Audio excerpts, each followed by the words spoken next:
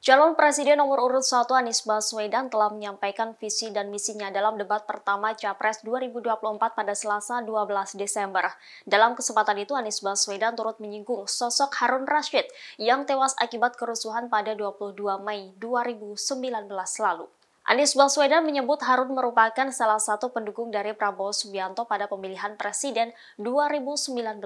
Harun menuntut keadilan dengan protes terhadap hasil pemilu saat itu. Namun as Harun Roshid tewas hingga saat ini kasus tersebut tidak ada kejelasan. Dengan demikian dalam debat capresnya Anies Baswedan menegaskan akan menegakkan hukum kepada siapa saja tanpa pandang bulu. Dilansir kompas.com kematian Harun Rashid menjadi pertanyaan banyak pihak mengingat usia usianya masih 15 tahun. Anak kedua dari tiga bersaudara asal Duri Kepa Kebonceruk, Jakarta Barat ini akhirnya diketahui meninggal dunia akibat tembakan peluru tajam yang mengenai dada sebelah kirinya.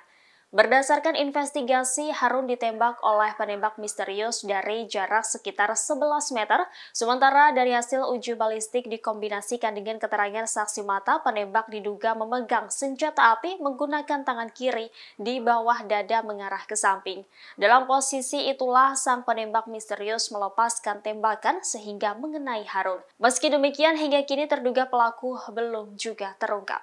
Download Tribun X sekarang menghadirkan lokal menjadi Indonesia.